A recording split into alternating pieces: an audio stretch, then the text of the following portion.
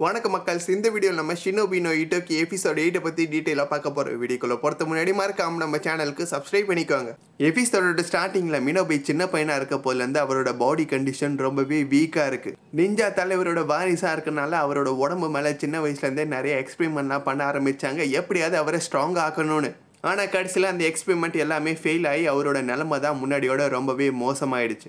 அப்போலேருந்தே அவருக்கு நிஞ்சாஸ்லாம் சுத்தமாக பிடிக்காம போக ஆரம்பிச்சிடுச்சு. இவ்வளோ வழி என்னை அனுபவிக்கிறதுக்கான காரணம் நான் ஒரு நிஞ்சாவாக பிறந்தனால தான் நிஞ்சாஸ்னு யாருமே இல்லாமல் இருந்திருந்தாலே சந்தோஷமாக இருந்திருக்கணும் நெக்ஸ்ட்டு ஜெயிலில் அடிக்கப்பட்டிருக்க மீனோபேவை இப்போ கெஞ்சி ரிலீஸ் பண்ணுறான் நெக்ஸ்ட் கோகா வில்லேஜுக்கு ஃபோன் பண்ணி அட்டாக் பண்ணுறதுக்காக எல்லாரையும் ரெடி ஆகவும் சொல்லிட்டாரு. நெக்ஸ்ட் ஒரு மீட்டிங் அரேஞ்ச் பண்ணி என்எஸ்சி போலீஸ் ஆஃபீஸர்ஸ் எல்லாருக்கிட்டையும் கெஞ்சி பேசுகிறான் நேத்திலேருந்து அயோட்டோவா ஆலே காணோ ஸோ எல்லா பொறுப்பையும் நான் எடுத்துக்க போகிறேன் இப்போலேருந்து நான் தான் உங்கள் எல்லாரோட லீடர் ஆல்சோ மீனோபைவை நான் ரிலீஸ் பண்ணிட்டேன். அவருக்கு எதிராக எந்த ஒரு ஆதாரமும் இல்லை. நெக்ஸ்ட் பிடிச்சி வச்சிருக்க யுமிக்காவுக்கு நாளைக்கு நான் மரண தண்டனை கொடுக்குறேன். இதை கேட்டது அங்கே இருக்கிற எல்லாருக்கும் பயங்கரமான ஷாக்கு இப்போ கொசிக்கி அவனுக்கு எதிராக கேள்வி கேட்குறான் நம்ம கேப்டன் இல்லாத நேரத்தில் எப்படி இந்த மாதிரி முடிவெல்லாம் நீ எடுக்க முடியும்னு? கவலைப்படாத மக்கள்னு ரூல்ஸ் படி இப்போ நான் தான் லீடர் நான் நினச்சேன் எது வேணா பண்ணலாம். ஆல்சோ உன்னோட டீமுக்கு லீடராக நான் ஒன்னே இப்போதைக்கு அப்பாயிண்ட் பண்ணுறேன் நெக்ஸ்ட் கொசிக்கி அவளோட டீமில் இருக்க எல்லாருக்கிட்டையும் பேசுகிறா கண்டிப்பாக கெஞ்சி எதிரிக்காக தான் வேலை செஞ்சுட்டு இருக்கான். கேப்டன் திடீர்னு காணா போனதுக்கும் கண்டிப்பாக அவனுக்கும் சம்மந்தம் இருக்கும். ஆல்சோ புதுசாக இந்த டீமில் இப்போ தான் நான் சேர்ந்துருக்கேன். அதுக்குள்ளே என்ன லீடர் ஆக்குறான்னா பெருசாக அவன் பிளான் பண்ணிட்டு இருக்கான். கடைசியாக கேப்டன் நம்மக்கிட்ட சொன்ன விஷயம் உங்களுக்கு ஞாபகம் இருக்கா? நம்ம மனசுக்கு எது கரெக்டுன்னு தோணுதோ அதை பண்ணுன்னு சொன்னார். ஸோ இப்போலேருந்தே கேப்டன் எங்கே இருக்காருன்னு நம்ம தேடி கண்டுபிடிக்கணும்னு அவங்க ஒரு சைடு கிளம்புறாங்க.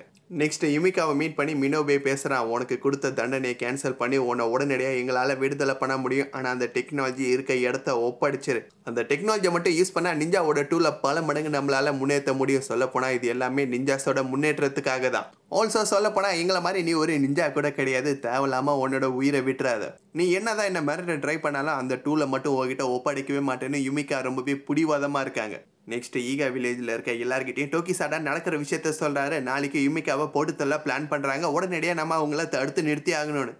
இது கேட்டதும் சில பேர் கடுப்பாயிட்டாங்க. நம்ம உடனடியாக போய் அட்டாக் பண்ணணும்னு சொல்கிறாங்க ஆனால் சில பேர் அப்படி அட்டாக் பண்ண வேணான்னு சொல்கிறாங்க நம்ம மட்டும் என்சிஎஸ்ஸை இழுத்து சண்டை போட்டால் இப்போ ஒரு ஆல் அவுட் வாரை ஏற்படுத்த மாதிரி ஆகிடும் ஆல்சோ ரூல்ஸ் எல்லாத்தையும் மீன் அதுக்காக எல்லாரும் ஒன்று கூடி நம்மளோட கதையை முடிச்சிருவாங்க. இப்போ டோக்கி சாடா இட்டோக்கி கிட்ட சொல்கிறாரு இந்த வில்லேஜை விட்டு என்ன வெளில ஒதுக்கி வச்சிரு. நான் போய் யுமிக்காவை காப்பாற்றிட்டு வரேன். அதுக்கப்புறம் பழி வந்தால் கூட வில்லேஜ் மேலே வராது. என் மேலே மட்டும்தான் வரும்னு. கேட்க நல்லா தான் இருக்குது ஆனால் போலீஸ் விட்டுற மாட்டாங்க. கண்டிப்பாக நம்ம மேலேயும் கேஸை ஃபைல் பண்ணுவாங்க. இப்போ என்ன பண்ணுறதுன்னு தெரியாமல் எல்லாரும் முடிச்சிட்டு இருக்க போது கோசெட்ஸ் அவளோட கத்தி எடுத்து இட்டோக்கியோட கழுத்தில் வச்சு மிரட்டுறா. என்ன நடந்தாலும் நம்ம இமிக்காவை காப்பாற்றி தான் ஆகணும். அவங்கள காப்பாற்றுறதுக்கான மிஷினை என்கிட்ட ஒப்பட. நான் இப்பயே போய் அவங்கள காப்பாற்றுறேன்னு கோசெட்ஸ் யுமிகா மேலே இவ்வளோ பாசமாக இருக்கிறதுக்கான காரணம் சின்ன வயசில் கோசெர்ஸ் அவளோட பேரண்ட்ஸை இறந்து தனியாக இருக்க போது யுமிகா தான் அவளை எடுத்து வளர்க்க ஆரம்பித்தாங்க பேசாமல் இந்த பொண்ணை அனாத ஆசிரமத்தில் சேர்த்துலான்னு மற்றவங்க சொல்ல போது கூட அது எதுவுமே கண்டுக்காம இந்த பொண்ணை என்னோட சொந்த பொண்ணை வளர்ப்பன்னு யுமிகா எடுத்து இட்டோக்கி கூட சேர்த்து வளர்க்க ஆரம்பித்தாங்க இந்த உலகத்தில் நல்லவங்கன்னு ஒருத்தவங்க இருக்காங்கன்னா அது யூமிக்கா மட்டும்தான். என்ன நடந்தாலும் நான் உங்களை காப்பாற்றி தீர்வேன்னு கோசெட்ஸு ரொம்பவே பிடிவாதமாக இருக்கா? இதெல்லாம் கேட்டதும் இட்டோக்கி அவனோட பிளானை பற்றி எல்லாருக்கிட்டே சொல்கிறா டோக்கி சார் அண்ட் கோசெட்ஸோ நீங்கள் ரெண்டு பேரும் போய் என்னோட அம்மாவை காப்பாற்றி கொண்டு வாங்க. ஒரு ஈகா நிஞ்சாஸாகவே போங்க. என்ன பிரச்சனை வந்தாலும் நம்ம எல்லாரும் ஒன்றா சேர்ந்தே அதை சமாளிப்போம். மற்றவங்க எல்லாரும் என் அம்மா மேலே எந்த ஒரு தப்பும் இல்லைன்னு நிரூபிக்க பாருங்க. ஆல்சோ எங்கள் அம்மாவை காப்பாற்றி கொண்டு வந்தோடனே டெஃபினட்டாக அட்டாக் நடத்துவாங்க. அதுலேருந்து தப்பிக்கிறதுக்கு தயாராக இருங்க. நெக்ஸ்ட் அடுத்த நாள் கோகா நிஞ்சாவோட ஹெட் குவார்ட்டர்ஸில் நடக்க போகிற அட்டாக்கை பற்றி எல்லாரும் மினவு கிட்ட டிஸ்கஸ் பண்ணிட்டு இருக்க போது பான் அந்த இடத்துக்கு வரான். ஈகா நிஞ்சாக்குள்ளே என்னோட ஸ்பை இருக்கிற அவகிட்டேருந்து ஒரு முக்கியமான இன்ஃபர்மேஷன் கிடைச்சிருக்கு. யுமிகாவை காப்பாற்றுறதுக்காக டோக்கி சடான் கோசெட்ஸ் ரெண்டு பேரும் ஆல்ரெடி கிளம்பிட்டாங்களாம். இந்த மிஷனை பற்றி வெளியில் யாருக்குமே தெரியாமல் ரொம்பவே சீக்ரெட்டாக பிளான் பண்ணிட்டு இருக்காங்க. ஆல்சோ எனக்கு ஒரு சின்ன ரிக்வஸ்ட் இருக்குது ஈகா நிஞ்சாஸ் மேலே அட்டாக் நடத்த போகிற விஷயத்தை பற்றி நான் கேள்விப்பட்டேன். அதில் ஃப்ரண்ட் லைன்லாம் நான் கலந்துக்கணும். கண்டிப்பாக இந்த மிஷனை நான் சக்ஸஸ்ஃபுல்லாக செஞ்சு முடிப்பேன்னு சொல்ல அவ்வளோதானே பரவாயில்ல நீயும் சேர்ந்து கலந்துக்கோப்பான்னு மீனோபே சொல்லிடுறாரு. இப்போ பான் கிட்ட பேசி அவனோட அப்பா மனசை மாற்றலான்னு பார்க்குறாரு ஃபர்ஸ்ட் இந்த அட்டாக் நடத்துறதே ரொம்ப தப்பான விஷயம். அதில் நீ கலந்துக்கிறது உயிருக்கே பெரிய ஆபத்துன்னு ஆனாலும் பான் அவரோட பேச்சை சுத்தமாக கேட்கவே மாட்டான் நெக்ஸ்ட் நடக்க போகிற அட்டாக்கை பற்றி மினோபே எல்லா சேர்மேன்கிட்டையும் ஒரு மீட்டிங் அரேஞ்ச் பண்ணி பேசிகிட்டு இருக்காரு. அட்டாக் பண்ண போகிற யூனிட் அவங்களோட பொசிஷனில் ரெடியாக இருக்காங்க. ஆல்சோ டோக்கி சடா டெஃபினட்டாக வில்லேஜில் இல்லை. இதுதான் அட்டாக் பண்ணுறதுக்கு கண்டிப்பாக நம்மளுக்கு கரெக்டான நேரம். நெக்ஸ்ட் அட்டாக் பண்ணுற ஐடியாவை ஓசன் எதிர்க்கிறாரு. அவர் கூட இன்னும் நிறைய சேர்மேன் சப்போர்ட் பண்ணுறாங்க அட்டாக் நடத்துறதுக்காக ஆசரா யூனிட் அனுப்புறீங்க. சொல்ல போனால் அந்த ப்ரோக்ராமே இன்னும் கம்ப்ளீட்டாக முடியல. இது வரைக்கும் சின்ன சின்னதாக நீங்கள் வைலன்ஸ் பண்ணியிருக்கீங்க. அதை நான் அலோவ் பண்ணதுக்கான காரணம் எல்லாமே கோகா நிஞ்சாஸோட நன்மைக்காக. ஆனால் மொத்தமாக இப்போ ஈகா நிஞ்சாஸ் அட்டாக் பண்ணுறது எந்த விதத்துலையும் நம்மளுக்கு நன்மை இல்லை. சொல்லப்போனால் இதனால நம்மளுக்கு தேவையில்லாத நிறைய பிரச்சனையும் அப்பாவி நிறைய பேருக்கு இறந்து போயிடுவாங்க. என்ன நடந்தாலும் இதுக்கு நான் ஒத்துக்கவே மாட்டேன்னு ஓசன் ஸ்ட்ரிக்டாக சொல்ல.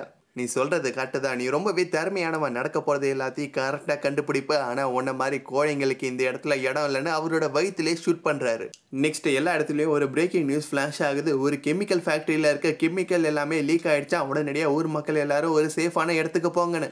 இந்த விஷயம் கேள்விப்பட்ட உடனே மக்கள் எல்லாருமே அவங்களோட வீட்டுக்குள்ள போய் அடைஞ்சிருக்காங்க. என்னப்பா திடீர்னு இந்த மாதிரி நடக்குதுன்னு இட்டோக்கி யோசிச்சுட்டு இருக்க போது வில்லேஜ்ல இருக்கவங்க இட்டோக்கி கிட்ட வந்து சொல்றாங்க இது எல்லாமே கோகா நிஞ்சாஸோட வேலை. எப்பயுமே நிஞ்சாஸ் இன்னொரு வில்லேஜ் அட்டாக் பண்ண போது வெளியில இந்த மாதிரி தான் நியூஸ் கொடுப்போம் ஸ்மோக்கை யூஸ் பண்றது கோகா நிஞ்சாஸ் தான். கண்டிப்பா இது ரூல்ஸுக்கு எதிரானது. ஆனா அதே மீறி அவங்க தைரியமா பண்றாங்கன்னா கண்டிப்பா நம்ம மேல ஒரு வாரை அவங்க டிக்ளேர் பண்றாங்கன்னு அர்த்தம். நெக்ஸ்ட் அவங்களோட டிஃபென்ஸ் பிளானை பற்றி இட்டோக்கி கிட்ட சொல்கிறாங்க இந்த இடத்த தான் நம்ம பேஸாக மாற்ற போகிறோம் நம்மளோட டெக்னாலஜி எல்லாத்தையும் யூஸ் பண்ணி அவங்கள தடுக்க ட்ரை பண்ண போகிறோம் அதையும் மீறி அவங்க உள்ளே வந்தால் வேறு வழியே இல்லை. அவங்க கூட நம்ம சண்டை போட்டு தான் ஆகணும். முடிஞ்ச அளவுக்கு போராடவுன்னு அங்கே இருக்கிற சீக்ரெட் ரூமில் அவங்களோட ஆப்ரேஷனை ஸ்டார்ட் பண்ணுறாங்க நெக்ஸ்ட் ஈகா வில்லேஜ்குள்ளே வரதுக்கான என்ட்ரன்ஸை ரொம்பவே ஸ்ட்ராங்காக மாற்றுறாங்க அவங்களோட டிஃபென்ஸ் சிஸ்டமை ஆக்டிவேட் பண்ணி அவங்கள நோக்கி வந்துட்டு இருக்க கோகா நிஞ்சாஸோட வேன் எல்லாத்தையும் ராக்கெட் லான்ச்சரை யூஸ் பண்ணி அட்டாக் பண்ணுறாங்க இதுதான் ஈகா நிஞ்சாஸோட ஃபயர் ஜூட்ஸு டெக்னிக் நாலஞ்சு லாரி அடித்து காலி பண்ணியாச்சு. சில பேர் அதுலேருந்து தப்பிக்கிறானுங்க. பயங்கரமான ஆசுரா சூட்டை போட்டிருக்காங்க. இதுதான் அவங்க டெவலப் பண்ணியிருக்க புது technology next control room attack பண்ணலான்னு பார்க்க போது பாம் ஆக்டிவேட் பண்ணி அவரோட உயிரை தியாகம் பண்ணி அங்கே இருக்கிற செக்யூரிட்டி அவர் கூடவே மற்ற எல்லாரையும் சேர்த்து கொண்டு போகிறாரு இருபது பர்சன்ட் கோகாவோட ஆளுங்களை போட்டு தள்ளியாச்சு. ஆனால் இன்னும் பாக்கி எண்பது பர்சன்ட் இருக்காங்க. இப்போ என்ட்ரன்ஸை தாண்டி புகையை போட்டு ஊருக்குள்ளே வர ஆரம்பிச்சிட்டாங்க. அவங்கள எகுத்து சண்டை போடுறதுக்காக ஊரில் இருக்கிற மக்கள் எல்லாருமே காத்திருக்காங்க. சொல்ல போனால் ரிட்டையர் ஆன வயசானவங்க கூட சண்டை போட வந்திருக்காங்க. நம்ம வில்லேஜுக்காக நம்மளே சண்டை போடலன்னா வேற யார் நம்மளுக்காக சண்டை போடுவா? நெக்ஸ்ட் ஒரு காதல் ஜோடி நைட்டு ஒரு படம் பார்த்து திருப்பி வந்துட்டு இருக்க போது ஒரு இடத்துக்குள்ளே போகணுன்னு பார்க்குறாங்க ஆனால் வெளியில் நிற்கிற ஒரு செக்யூரிட்டி கார்டு இந்த இடத்துக்குலாம் போகக்கூடாதுன்னு அவங்கள தடுக்கிறாங்க. நேற்று வரைக்கும் இங்கே யாருமே இல்லை. ஆனால் புதுசாக இன்றைக்கி செக்யூரிட்டி இருக்காங்கன்னு அங்கே இருக்கிற செக்யூரிட்டி எல்லாருமே அடித்து காலி பண்ணி உள்ளே பிடிச்சி வச்சிருக்க யுமிகாவை கோசெட்ஸ் அண்ட் டோக்கிசடா ரெண்டு பேரும் சேர்ந்து காப்பாற்றி வெளில கொண்டு வராங்க. பைபிளில் இவங்க ரெண்டு பேரும் தான் காதல் ஜோடி மாதிரி மாறு விஷயத்தில் வந்திருக்காங்க யுமிகாவை காப்பாற்றுறதுக்காக வந்த வேலை முடிஞ்சிடுச்சு யுமிகாவை காப்பாற்றியாச்சு அடுத்த வில்லேஜுக்கு கொண்டு போகலான்னு பார்த்தா மற்ற போலீஸ் எல்லாருமே அந்த இடத்துக்கு வந்துட்டாங்க. ஆல்ரெடி டோக்கி சடா இந்த இடத்துக்கு வர விஷயத்த கோகா நிஞ்சாஸை சேர்ந்தவங்க எல்லாருமே இன்ஃபார்ம் பண்ணிட்டாங்க. ஸோ அவங்கள தடுத்து நிறுத்துறதுக்காக ஒரு ஸ்பெஷல் ஸ்குவாடே இப்போ தயாராக இருக்குது நெக்ஸ்ட் கோகா நிஞ்சாஸை சேர்ந்தவங்க வில்லேஜுக்குள்ளே வந்துட்டாங்க. எல்லாரையும் அட்டாக் பண்ணலான்னு பார்க்க போது பானுக்கு ஒரு மெசேஜ் வருது. உன்னோட அப்பாவை மினோபே சுட்டுட்டாருன்னு. அதை கேட்டது ஒன்றும் புரியாத. அவன் பயங்கரமாக ஷாக் ஆகுறான். என்னை இங்கே அனுப்பி வச்சு என்னோட அப்பாவையும் சுட்டுட்டாரு. ஏதோ ஒரு பெரிய விஷயம் தப்பாக நடந்துட்டு இருக்குன்னு அவனுக்கு தோண. அதோட இந்த எபிசோட் முடிவுக்கு வருது. ஓகே மக்கள்ஸ் அடுத்த வீடியோவில் நான் உங்களை மீட் பண்ணுறேன் இந்த எபிசோட் உங்களுக்கு பிடிச்சிருந்தா லைக் பண்ணுங்கள் ஷேர் பண்ணுங்கள் கமெண்ட் பண்ணுங்கள் மறக்காம நம்ம சேனலுக்கு சப்ஸ்கிரைப் பண்ணிக்கோங்க. ஸோ அடுத்த எபிசோடில் வார் ஆரம்பம். பெரிய பேட்டில் சீன்ஸை எதிர்பார்க்கலான்னு நினைக்கிறேன்.